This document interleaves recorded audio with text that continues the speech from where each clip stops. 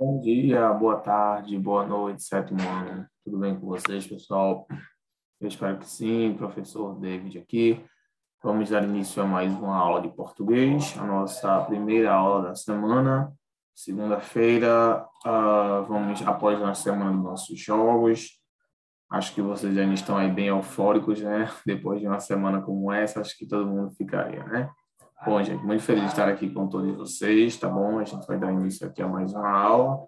a gente vai trabalhar a disciplina de gramática e vamos aqui responder as últimas questões da, do capítulo 5 para iniciarmos o capítulo 6 do nosso livro. Acredito que nessa aula ainda a gente terá tempo para a gente conseguir iniciar o capítulo 6. Se não, a gente deixa para a nossa próxima aula, tá bom? Gostaria de lembrar vocês também acerca das provas, como eu sempre tenho feito. Não esqueçam aí, tá bom? Provas chegando, tá bom? Vejam os conteúdos, estudem, para que no dia vocês consigam realizar a, a prova sem fazer nenhum tipo de consulta. Ok, gente? Então, vamos dar início à nossa aula. Vou começar aqui pedindo que vocês peguem seus livros, livros de gramática, tá bom? E eu vou pedir que vocês abram aí na página uh, 101 tá bom? A gente vai aí fazer a realização das respostas das atividades, tá bom? Da 101 até a página 105. E se der tempo, a gente também faz a, a questão de escrita, tá bom? Eu passei algumas atividades para vocês aí para casa. Percebo que algumas pessoas não estão entregando. Gostaria de lembrá-los, pessoal. Essas atividades elas valem nota. Tá bom? No final do, do bimestre, a gente vai fazer a, a contagem dessas atividades para atribuir a nota de vocês. Então, peço que vocês aí não esqueçam de fazer as atividades e mandar pelo ClassApp, sempre no prazo, tá, gente? A gente já está colocando aí um prazo maior, considerando que é, muitos de vocês não assistem às aulas na mesma semana que elas são lançadas. Então, se atentem aí um prazo, a gente está colocando duas semanas, às vezes até três semanas, uh, um prazo para a realização das atividades, tá bom? Então, eu vou começar aqui colocando nosso cabeçalho, tá, para que a gente possa dar início à nossa aula. Abram aí o livro de vocês na página 101.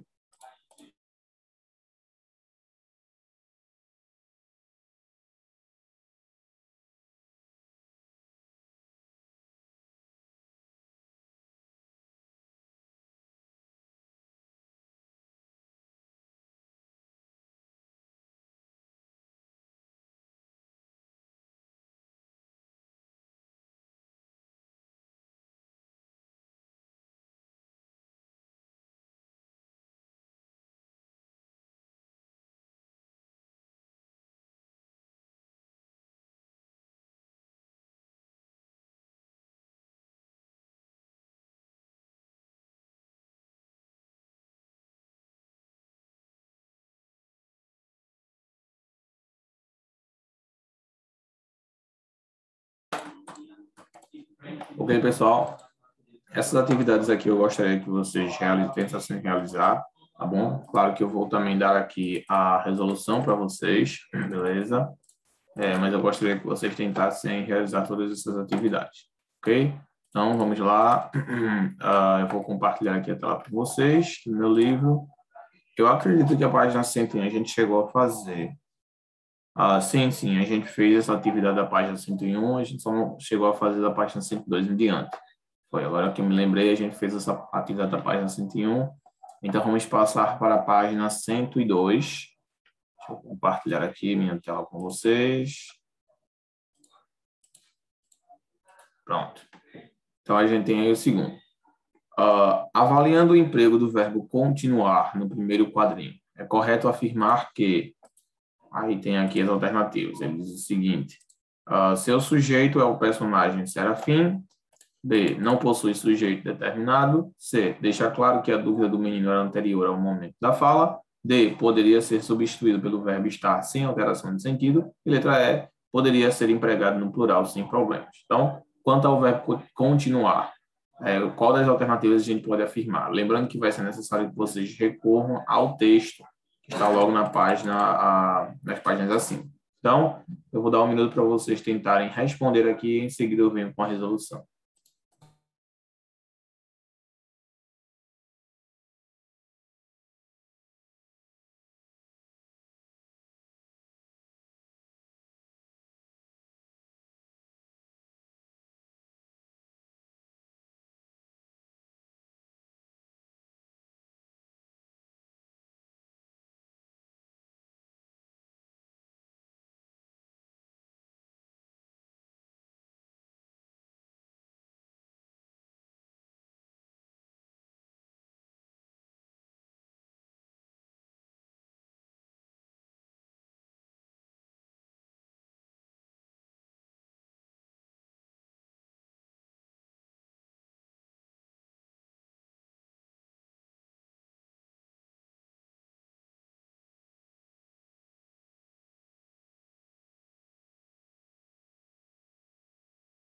Bom, gente, então, aqui a resposta correta é a letra C. Deixa claro que a dúvida do menino era anterior ao momento da fala. No caso, o momento da fala do outro personagem, de, que é uh, Pedro.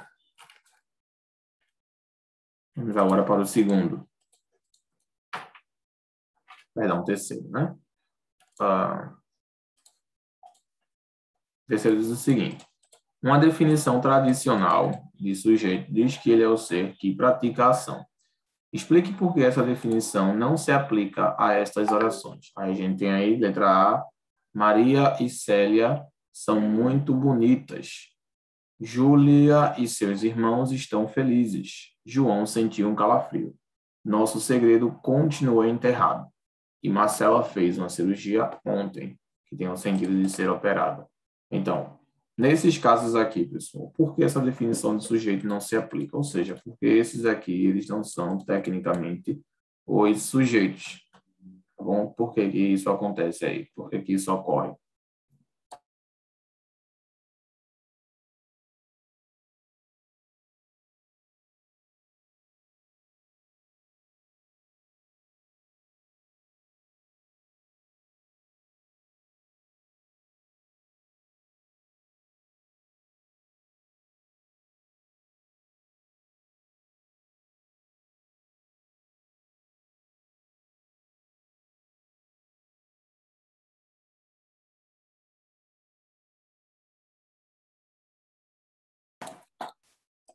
Gente, nesses casos aqui, não ocorre, uh, essa definição, ela não é, uh, podemos dizer assim, correta, porque os sujeitos que estão aí, eles não estão tecnicamente realizando uma ação. A definição tradicional de sujeito é que ele pratica a ação, mas a gente vê aqui que aqui existem verbos, porém os verbos, eles não estão praticando nenhuma ação, tá? São verbos que a gente chama de verbos estáticos o verbo ser, o verbo estar, sentir, continuar, são verbos que na realidade eles não exercem nenhuma ação verbal, tá? Antes eles apenas fazem, é, eles são ações, ações que a gente chama de ações estáticas, ou seja, aquelas ações que ah, não, é, é, é na realidade, praticam nada, é apenas um, um sentimento. Aí fazem parte dessa categoria os verbos sentir, o verbo ser, o verbo uh, estar, o verbo continuar, o verbo permanecer, tá? São verbos aí que não, na verdade, exercem nenhuma ação. Então, por isso que muitas vezes a definição de sujeito, ela é uma definição um pouco equivocada, tá bom? É, então, acho que a, definição de sujeito mais coerente seria que sujeito é quem uh, conjuga o verbo, não é tecnicamente quem pratica a ação, tá bom? Ok. Vamos lá agora para o quarto. O quarto ele diz o seguinte, pessoal. Agora, usando a definição uh, de sujeito que estudamos nesse capítulo, identifique-o nos períodos analisados na questão anterior e o substitua por um pronome pessoal, ou seja, vocês vão identificá-los aqui e vão substituí-los por pronomes pessoais. Eu, você, ele, ela, nós e etc. Tá? Aí a gente tem a letra A. Maria e Célia são muito bonitas. Por qual pronome a gente poderia substituir? Maria e Célia. O que, é que vocês acham? São dois sujeitos, né? Sujeitos compostos. Então, aí a gente poderia substituir por uh, eles, né? Poderia substituir por eles. Então, eles são, elas, no caso elas, já, perdão. Elas são muito bonitas. Letra B. Júlia e seus irmãos estão felizes. Aí a gente tem aí outro sujeito composto. A gente tem aí Júlia e tem seus irmãos. Nesse caso aí também, como está no plural, a gente poderia substituir por qual pronome? Teria que ser um pronome também no plural. Seria eles. Por que eles? Porque a gente sabe que uh, quando existe masculino e feminino, o que prevalece é o masculino. Mesmo que a quantidade de é, substantivos femininos seja maior, o que vai prevalecer é o substantivo masculino, tá bom? Letra C. Uh, João sentiu um calafrio, tá bom? Então a gente, aí no caso aí João poderia ser substituído por ele. Ele sentiu um calafrio. Letra D. Nosso segredo continua enterrado. Aí, nesse caso aí, o sujeito é nosso segredo. A gente poderia substituir por um sujeito. Qual poderia ser esse sujeito que a gente poderia substituir? Poderia ser ele, né? Ele continua enterrado. Ele, porque segredo, uh, essa, é, esse substantivo é um substantivo masculino, então seria ele. E a letra E, Marcela fez uma cirurgia ontem. Nesse caso aí a gente tem Marcela, que é um sujeito, um substantivo próprio feminino. Ou seja, teríamos que substituir por um pronome pessoal feminino. Então a gente substituiria aí Marcela por ela. Ela fez uma cirurgia ontem, tá bom? Muito bem. Então, respondido, vamos agora para o próximo.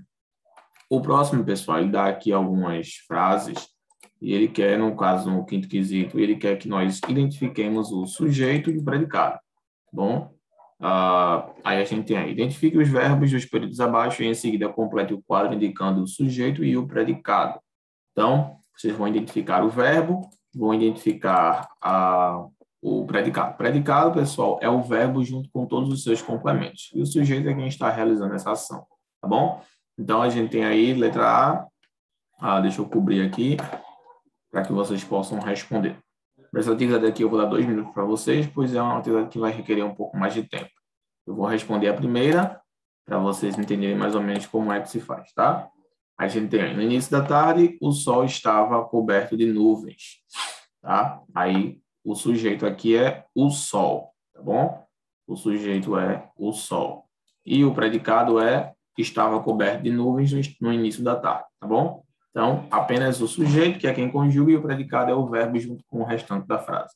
Dois minutos para vocês encontrarem o restante do sujeito e o predicado das outras frases, tá bom?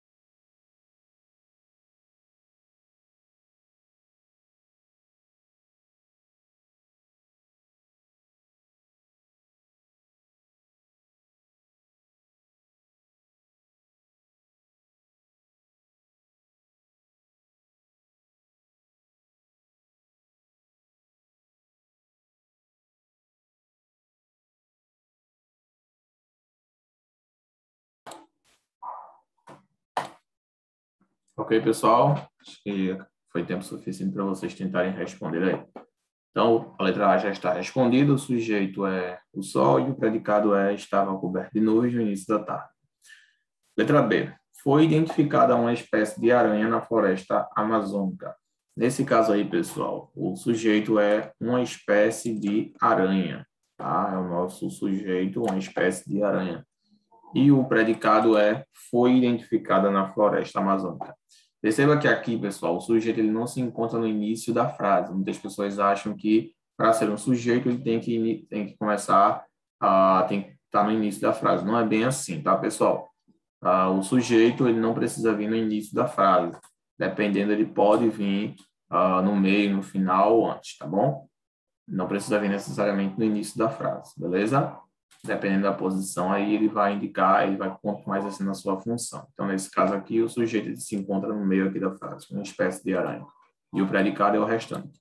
Foi identificada na floresta amazônica. Letra C. Caiu uma telha do alto daquele prédio. A gente tem aí, caiu uma telha do alto daquele prédio. O sujeito aqui é uma telha, tá bom? E o predicado é caiu do alto daquele prédio. Uma telha é o sujeito e caiu do alto daquele prédio é o predicado. Beleza? Uma telha, sujeito e caiu do alto daquele prédio é o predicado. Letra D. Cinco espécies de planta estão sendo catalogadas. Nesse caso aqui, o sujeito é cinco espécies de planta. Tá bom? Cinco espécies de planta é o nosso sujeito estão realizando a ação de serem catalogadas. Então, é, sujeito e predicado estão sendo catalogados. Letra E. Estava seco demais aquele terreno. Estava seco demais aquele terreno. Nesse caso, o sujeito aqui é aquele terreno e o predicado é estava seco demais. Tá bom? É, aquele terreno é o sujeito e o predicado estava seco demais. Continuar. Uh, agora temos a parte de baixo, aí eu vou dar aí mais um minuto para vocês tentarem encontrar o sujeito e o predicado, tá bom? Da letra F, letra G, H e da letra I. Tá bom? Mais um minutinho e em seguida eu volto aqui com a resolução.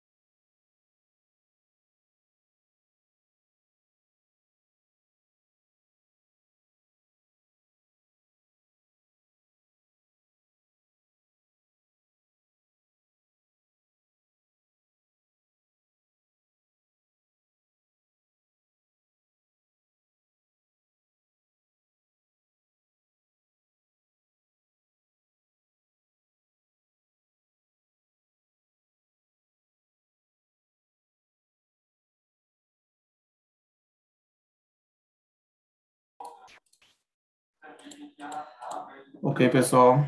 Vamos lá, então. Uh, letra G, letra F. Começaram os grupos de estudante, de estudo todas as quintas à tarde. Então, no caso, seria o sujeito. Os grupos de estudo começaram todas as quintas à tarde. Os grupos de estudo, sujeito e predicado começaram todas as quintas à tarde. Letra G. Não identifiquei as diferenças entre essas plantas. O sujeito aqui, pessoal, é um sujeito uh, desinencial, tá bom? O sujeito é eu, tá? Eu não identifiquei as diferenças entre essas plantas, só que ele está oculto aqui, mas ele existe, tá? Ele está oculto, mas ele existe. O sujeito é eu. Eu não identifiquei as diferenças entre, entre essas plantas. A gente sabe por causa da terminação do verbo. O verbo é identifiquei, então é o verbo conjugado na primeira pessoa de singular. Letra H. Chamaram um botânico no laboratório da universidade. Aí, nesse, nesse caso aqui, pessoal, uh, chamaram, de fato, é um sujeito indeterminado. Não tem como saber quem é o sujeito, tá bom? Opa. Não tem como saber quem é o sujeito, porque chamaram, pode ser qualquer pessoa. Aqui a gente diz que é um sujeito indeterminado, tá bom? Então, sujeitos é indeterminado e o predicado é chamaram o uh, é, chamaram o botânico no laboratório da universidade e o sujeito ele se encontra indeterminado, ou seja, não existe um sujeito uh, específico aí para essa questão, para essa sentença. Letra I. Na floresta amazônica há ainda muitas espécies não catalogadas. A letra I, então, na floresta amazônica há ainda muitas espécies não catalogadas. Uh, cadê sujeito aqui? Há ainda muitas espécies não catalogadas. E o verbo é há na floresta amazônica. Tá bom? Muitas espécies não catalogadas, sujeito, e o predicado há ainda na floresta amazônica. Tá bom? Muitas espécies não catalogadas, sujeito, e na floresta amazônica uh, ainda muitas, ainda, né? Pronto, então Tivemos, ficamos, fizemos aí. Cadê? Pronto. O nosso. A resposta. Pronto. Ok, pessoal? Pronto. Então, respondido. Agora dá tempo da gente responder ainda aqui o sexto e o sétimo. Tá bom? O sexto, ele diz o seguinte. Uh, não, ou seja, a gente não precisa responder o sexto para completar de acordo com o texto, as informações. Então, não tem problema não. A gente vai pular aqui. A gente vai pular para o sétimo. Leia o texto e em seguida responda as questões. Carliné expressou sua vocação científica desde cedo. Aos cinco anos, ele cuidava sozinho de um jardim, pois já se mostrava muito interessado por botânica. Mais tarde, aos 20 anos, começou a faculdade de medicina, onde aprimorou seus estudos sobre plantas. Isso mesmo, naquela época os médicos estudavam botânica também. O conhecimento aprimorado da botânica era fundamental, pois receitavam ervas para os seus pacientes. Aí a gente tem aí a letra A. Quando vimos o conceito de sujeito desinencial, observamos que é possível, digamos, economizar palavras. Essa economia se dá por meio da elipse, a omissão de um termo facilmente identificável na frase. Pensando nisso, identifique o sujeito das formas verbais, expressou, cuidava e mostrava. Então, quem é, quem são os sujeitos aí das, quem é o sujeito das formas verbais aí? Uh, expressou, cadê? Expressou, deixa eu ver aqui mais. Expressou, cuidava e mostrava expressou, cuidava e mostrava. Sujeito aí é Carl tá? É o sujeito responsável por uh, conjugar todos esses outros verbos aí, tá bom? Vamos agora para a letra B. Qual desses sujeitos é mais informativo? Qual é a importância do seu posicionamento no texto? Qual é o desse sujeito é mais informativo? Qual é a importância do seu posicionamento no texto? Tá? é, o seu posicionamento é no início, tá, pessoal? Ele se encontra no início, tá bom? Uh, da frase. E aí ele dá continuidade aos outros verbos, beleza? E letra C, como se classifica o sujeito da forma verbal receitável? Onde é que está receitável aqui? Cadê? Hum.